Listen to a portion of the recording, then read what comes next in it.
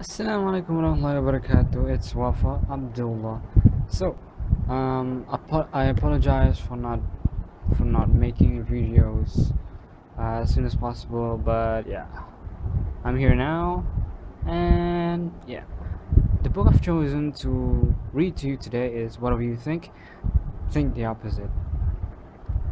So, so Paul Arden, Arden is the author of the international bestseller it's not it's not how good you want to be but how you want to be. Is a former is a former executive is a former executive creative director at Saatchi and Saatchi and a legend of British advertising. He now owns photographic gallery.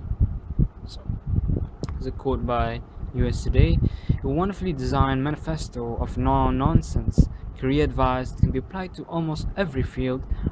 Ard- Arden, Arden's book may not cure your sanity, but it will help you look at the world and your work in a fresh way. So this is the second book, the, the first book actually that made international bestseller. Um, I'm gonna read this the next in the next video. Okay, right. So first page. This book explains the benefits of making bad decisions. It shows how risk is your security in life and why unreason is better than the reason. It's about having confidence to roll the dice. It's the wrong way to win. It's the wrong way to think, but the right way to win. That's what we, because that's what we want, right? We want to win. Let us start off on the right foot by making some wrong decisions. A flop.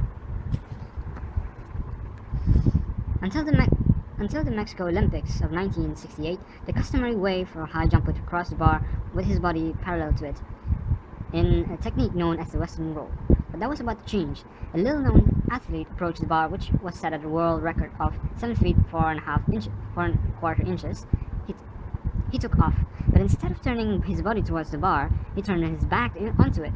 He brought his leg up and flipped over the bar backwards. Like this one.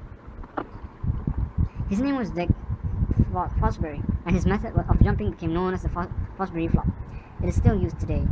He jumped higher than any other man by thinking opposite from anyone else. This is example. This example is just a technique for thinking, but here the technique for thinking became a technique for, for jumping, turning a flop into a success. Okay. Photographing flowers. Firstly, we will pick a perfect specimen and we'll arrange it carefully, light it beautifully, some dew. It'll probably be beautiful, but only up to a point, because we have seen thousands of beautiful flowers before. So how are we going to make our our picture memorable? In 1930s, Andre Kertész took a picture of, of a wilted tulip, tulip. Once you have seen it, it's impossible to forget. In a publicity shot for himself, photographer Adrian Flowers did it by showing a vase, not the flowers. Ir- Irving Penn did it like this. Instead of shooting a perfect fresh flower, he photographs a dead flower perfectly. Eight years ago, a scientist photog- photographer, photographer Carl Borstrand took astounding pictures which were often un- unrecognizable. The one shown here more looks more like a skyscraper than a plant. They're all the wrong way to answer that brief, but they are all beautiful solutions to the problem. Okay.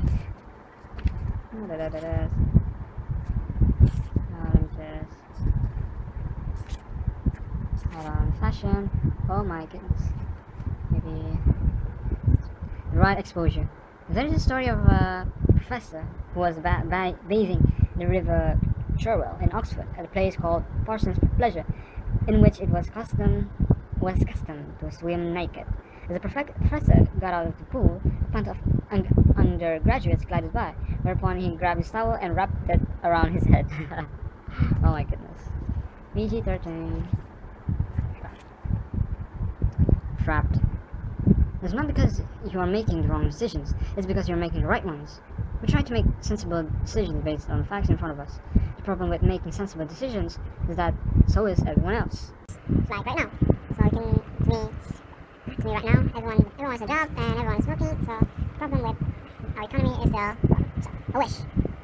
I wish means I wouldn't be. Would it be nice If you always make the right decision, the safe decision, the one most popular, most most people make, will make you will be the same as everyone else.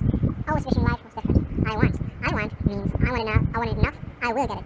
Getting what you want means making decisions you don't need to need to make, make to get what you want, not decisions those around you think you should make. Making the safe decision is dull, predictable, and leads nowhere near.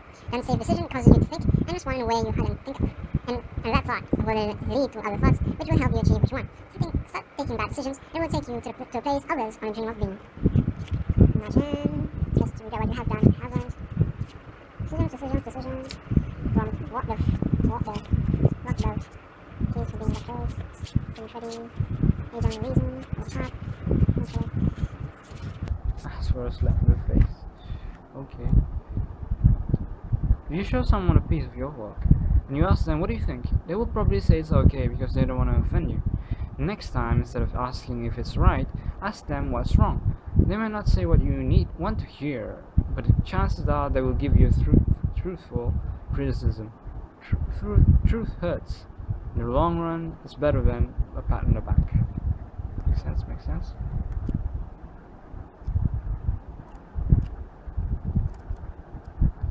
I want to show you this that door. It's really, really cool.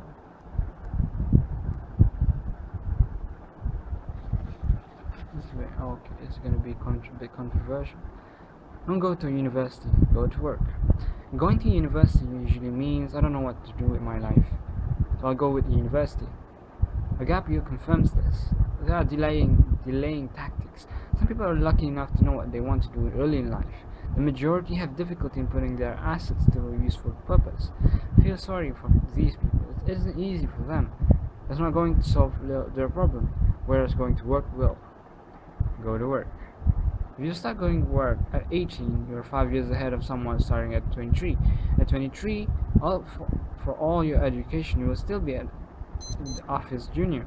If you get your career decisions wrong when you are young, you can alter course.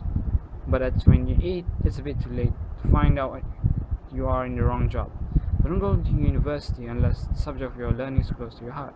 Go to work and do your learning in the school of life. Achieving a failure. Up, final thoughts. Ugh. Okay, so I don't want to spoil too much about this. Okay, maybe this uh, this chapter. The best piece of advice ever, ever given was the art director of Harper's Bazaar, Alexey Brodovitch, to the young Richard Avedon, destined to, be, to become one of the world's great photo- photographers. Advice was simple: astonish me. Bear, with, bear these words in mind. Whatever you do, you will be creative. So, thanks for watching. Assalamualaikum warahmatullahi wabarakatuh. Oh yeah, if you got, oh yeah, if you got some suggestions to improve my video, please don't be shy. Do leave a comment, yeah, because I'm really out of ideas. I see, I want to, I want to inspire people to read books, but uh, I'm just out of ideas. It's ironic, right? I read all these creative, creative inspiration books, but I'm out of ideas. But yeah, I really need your help, guys. Do give me suggestions on what I did wrong, what I did, what did right. Yeah, focus on, do focus on telling me what I did wrong, and give me, do give me suggestions on how I can improve this video and this project, this project of helping Melbourne read books. Yeah.